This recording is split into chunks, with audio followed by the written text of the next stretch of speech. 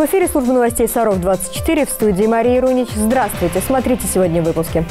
Бесплатные лекарства или денежная компенсация. Что выбрать льготникам? За мусором раз в неделю. Как твердые коммунальные отходы вывозят с территории индивидуальной жилой застройки. Настольный теннис, клуб авторской песни и тренажерный зал. Клуб здоровья провел День открытых дверей.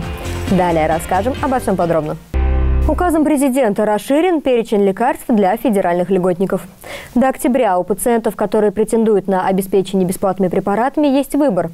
Они могут решить, что для них лучше – получить бесплатные лекарства или денежную компенсацию. Почему врачи считают, что лучше выбрать соцпакет, расскажем в следующем репортаже.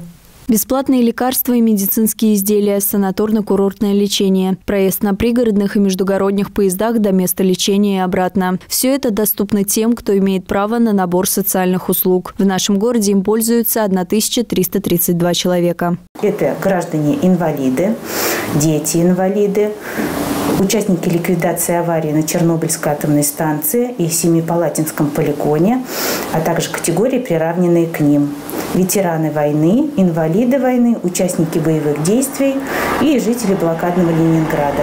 Люди, которым положен соцпакет, имеют право от него отказаться в пользу ежемесячной денежной компенсации. По Сарову она составляет 1155 рублей. По словам врачей, отказываясь от льготных препаратов, пациенты часто совершают ошибку. Как правило, это пациенты, имеющие серьезные заболевания. Стоимость одного препарата достигает нескольких сотен тысяч. В случае, если пациент принимает решение в пользу получения денежной компенсации, вся стоимость лечения ложится на его плечи. Даже если сейчас пациент здоров и не нуждается в лекарствах, нет гарантии, что до конца года его состояние не ухудшится, не обострятся хронические заболевания. Препараты для лечения бронхиальной астмы, онкологических заболеваний, сахарного диабета и ишемической болезни сердца в основном стоят очень дорого. Денежная компенсация не способна покрыть расходы на их покупку. Вернуть право на получение льгот льготных лекарств можно только один раз в год до 1 октября. Для этого нужно написать заявление в пенсионный фонд. Право на соцпакет вступит в силу только с 1 января следующего года. Дарья Козина, Евгения Шевцова, Сергей Рябов. Служба новостей Саров 24. Этот и другие репортажи вы можете посмотреть в любое время на нашем канале в YouTube. К другим новостям. С 1 октября на 3% проиндексируют зарплаты работников федеральных казенных, бюджетных и автономных учреждений. Соответствующее распоряжение правительства опубликовано на официальном интернет-портале правовой информации. Мера также коснется сотрудников федеральных госорганов и гражданских служащих военных частей. Индексация, одна из основных государственных гарантий по оплате труда, должна проводиться независимо от желания работодателя в отношении всех сотрудников, с которыми заключен трудовой договор. Размер зависит от уровня инфляции. Клиническая больница номер 50 получила 4 новых автомобиля скорой помощи. Машины оборудованы всем необходимым для транспортировки тяжелобольных пациентов. Среди медиков также пополнение. Ряды КБ пополнили врач-терапевт, педиатр и стоматолог. Другая важная информация в подборке коротких новостей. Льготные программы по стимулированию спроса на российские автомобили продлили на следующий год. Об этом сообщил заместитель министра промышленности и торговли Александр Морозов. Речь идет о двух действующих программах. Первый автомобиль и семейный автомобиль, по которым государство компенсирует отдельным категориям россиян часть процентной ставки по кредиту. Те, кто решит воспользоваться этим предложением, могут сэкономить до 25% от цены машины. Максимальная стоимость автомобиля, который можно купить по этой программе, составляет полтора миллиона рублей. 11 сентября в России стартует конкурс «Народный участковый 2020». Как и в предыдущие годы, жителям страны предлагают выбрать лучших сотрудников полиции, которые днем и ночью охраняют покой и безопасность сограждан. Своих кандидатов выдвигает каждый город. Первый этап конкурса продлится до 20 сентября. Поддержать лучшего, по мнению саровчан участкового, можно будет на официальном сайте Нижегородской полиции. Саровчане сразятся за главный титул любительского баскетбола в России. В эти дни в Севастополе проходит решающий турнир сезона межрегиональной любительской баскетбольной лиги суперфинал МЛБЛ. Участие в нем принимает рекордное количество команд – 24 мужских и 10 женских, в том числе Саровский БКАТом. На протяжении недели лучшие участники региональных турниров МЛБЛ будут бороться за звание чемпионов России среди любительских команд. В Нижегородской области разрешили возобновить работу читальных залов библиотек. Посетители допустят в масках и перчатках. Рассаживать их будут с соблюдением дистанции. Поверхность столов необходимо дезинфицировать после каждого посетителя. Начался учебный год. Для школьников и студентов очень важно иметь возможность полноценно работать с учебной и научной литературой в читальных залах. Мы рассчитываем, что сотрудники библиотек обеспечат необходимый уровень безопасности, отметил Глеб Никитин. Также изменениями в указе разрешается продажа продуктов питания, в том числе напитков, в кинотеатрах, только в герметичной упаковке. Поступало очень много обращений по поводу продажи еды и напитков. Действительно, это давно уже стало важной частью просмотра фильмов и дополнительным источником доходов для предпринимателей. Поэтому во взаимодействии с санитарными врачами мы решили принять эту меру, добавил губернатор Нижегородской области. Изменения касаются также проведения спортивных мероприятий. Сдавать мазок для тестирования на коронавирусную инфекцию теперь можно не за два, а за три дня до соревнований. Ношение масок не обязательно для спортсменов и судей в период тренировок и соревнований. В организациях, которые проводят спортивные мероприятия, также снят запрет на продажу продуктов питания, в том числе напитков, произведенных и упакованных в заводских условиях. Между тем, одну школу в Иксе перевели на дистанционное обучение. Это на своей странице в Инстаграм подтвердил министр образования, науки и молодежной политики Сергей Злобин. Коронавирус подтвержден у нескольких педагогов и сотрудников учреждения. Среди детей заболевших нет. В школе 952 обучающихся. Для них организуют дистанционное обучение на образовательных платформах. За минувшие сутки в России COVID-19 подтвердили у 5185 человек. 151 новый случай заражения зарегистрирован в Нижегородской области. В Сарове за выходные заболело еще 16 человек. Из тех, кто госпитализирован, 19 находятся в состоянии средней степени тяжести.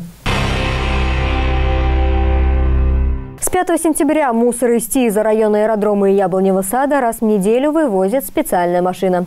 Она едет по улицам и сигналит. В это время жители должны вынести мусорные пакеты и самостоятельно погрузить их в кузов. Как к этой инициативе относятся горожане и как выглядит сбор на самом деле, расскажем в следующем репортаже. С начала года жильцы домов в районах Яблоневого сада, аэродрома и ТИЗа жаловались, что мусор перестали забирать по графику из индивидуальных контейнеров. Вместо привычного сбора саровчанам предложили относить отходы за сотни метров в специально установленные места, что неудобно и тяжело, особенно для пожилых людей. Департамент городского хозяйства пытался найти альтернативу. Мы считаем, что действительно целесообразно вернуться с территории ИЖС с, э, с вывоза к вывозу с индивидуальных контейнеров контейнеров. И при этом рассматривать в перспективе опять вопрос отхода от этих контейнерных площадок. Потому что контейнерные площадки ставились с учетом организации требований раздельного сбора. Но, как обычно, реформа и бежит вперед.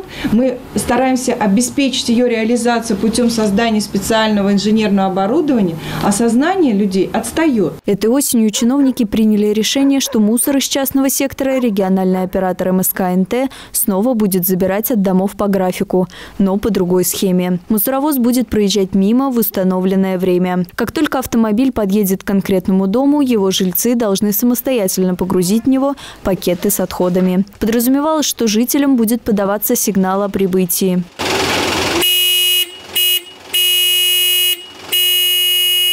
Начале объезда это не самая хорошая идея.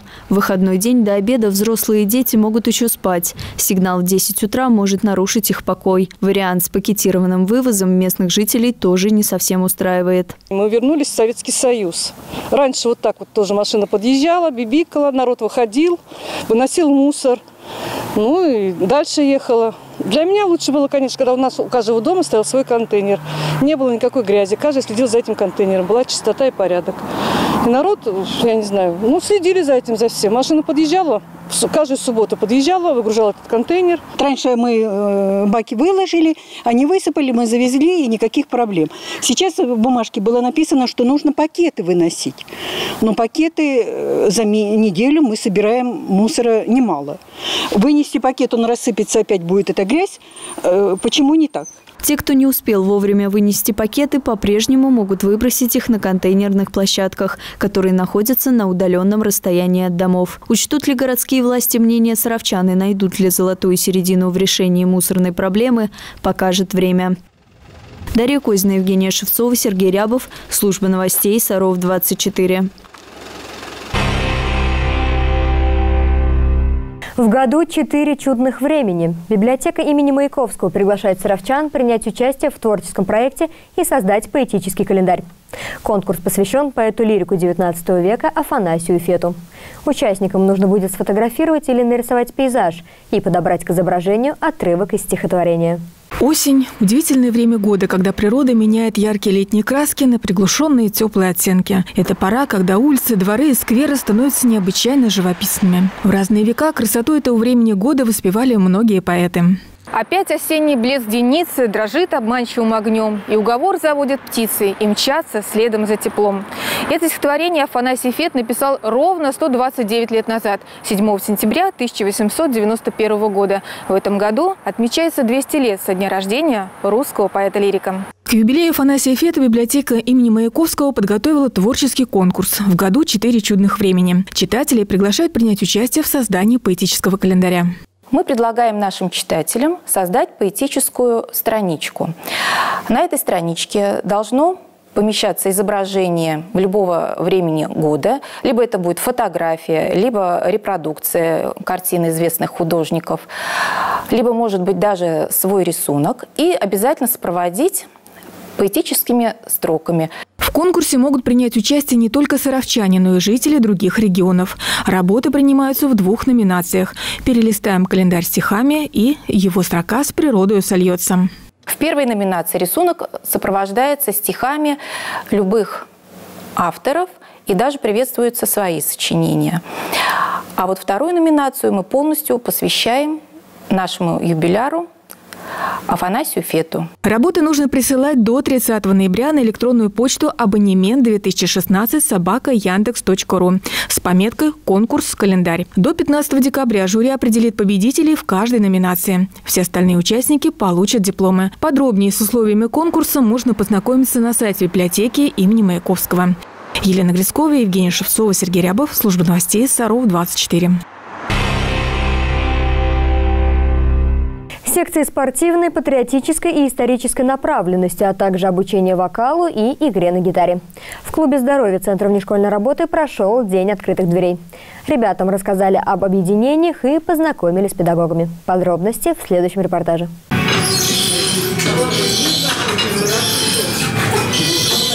Скрип железа, правильное дыхание и напряженная работа мышц. В секцию троеборья подростки приходят, чтобы из угловатых мальчишек превратиться в спортивных юношей. В небольшой комнате есть тренажеры на разные группы мышц, так что при желании и усиленной работе результат будет заметен. Валерий Краснов среди всех спортивных секций города выбрал именно силовой троеборье. Я давно хотел прийти в тренажерный зал, э, чтобы нарастить мышечную массу, э, стать сильным, вот, чтобы у меня фигура была красивая, сильная.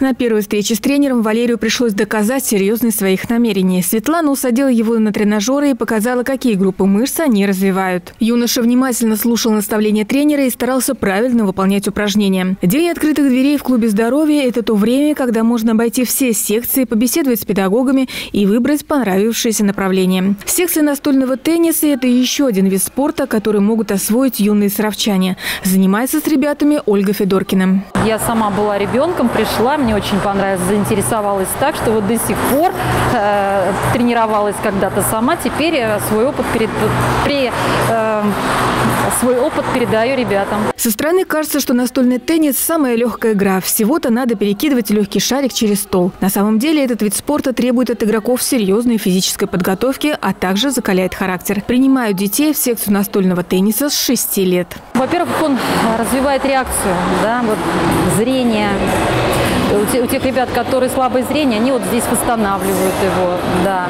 Затем э, идет закалка характера, потому что, ну, когда играешь на счет, ты стараешься выиграть, не сдаваться. В клубе здоровья также идет набор ребят в объединении патриотической и исторической направленности. Мальчишек и девчонок ждут секции фехтования и ролевого моделирования «Армир» – военно-патриотический клуб «Разведчик». Елена Грицкова, Кирилл Новикевич, Сергей Рябов, служба новостей Саров 24.